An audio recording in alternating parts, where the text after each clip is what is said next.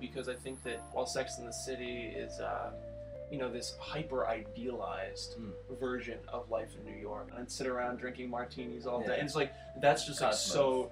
Cosmos. the moment I read this script, it's like this is about a New York City where, you know, everyone's you know searching for companionship and Right. stability in like a really isolating, intimidating, crazy city. I The think original thing was 40 pages, which we shot all of because you never know what you're gonna need. yeah, that in like in two three, days. four Yeah. days, The um, under a thousand dollars. So this guy sends pictures of this modeling gig thing that he had, and I was like, who knew that that was under there this whole time?